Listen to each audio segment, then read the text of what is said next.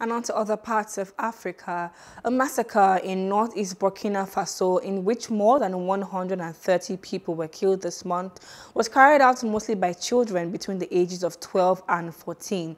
That's what the United Nations and the government are saying. Armed assailants raided the village of Solhan on the evening of June 4th, opened fire on residents and burnt homes. This was the, it was the worst attack in years in an area plagued by jihadists linked to Islamic State and Al-Qaeda. A government spokesperson said the majority of the attackers were children.